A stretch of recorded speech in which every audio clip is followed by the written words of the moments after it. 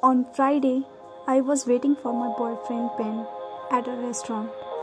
It was our second anniversary. It was quite delayed, but he didn't show up. I was devastated that he left me alone just waiting for him too on the day of our anniversary. I left the restaurant in the bitterness. I immediately took my car and started going back towards my home. As I was driving, I realized that it was too late as I could hardly see anyone on the highway. I wouldn't lie, but I was scared. Suddenly, I saw a man in the middle of the road. I honked at him, but he didn't move. He was standing there, so I stopped my car about one minute away from him and I said, Are you blind?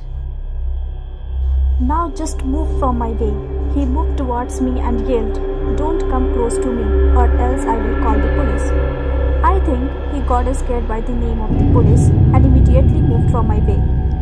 When I was crossing him, I saw his face. He was scared. His eyes were at me. He also had some cuts on his face, and I saw that blood was dripping from the, his clothes. That moment, my heart got stopped. I was thinking that maybe he must have killed someone, or maybe he is about to kill someone else. I stopped my car and I saw he was still standing there. His face was towards my car. I immediately called the police. I told them everything. They told me to lock my car completely just to be there and keep an eye on him. They will be coming in 10 minutes. I agreed.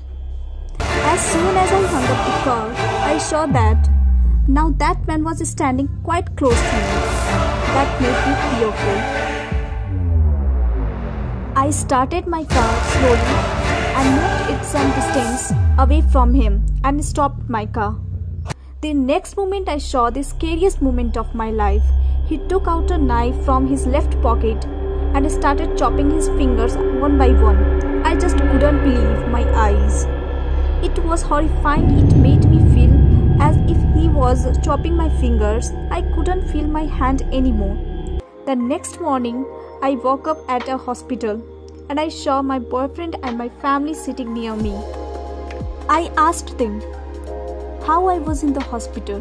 They told me that my Ben was coming to the restaurant to meet me, but his car met with a minor accident, so he couldn't make it on time, and due to the accident, his phone was damaged. The police also arrived at the same time, and I was unconscious inside the car. The police told me that they couldn't find the person I described to them. I could never forget what I was that day. I still get nightmares about what I saw that night.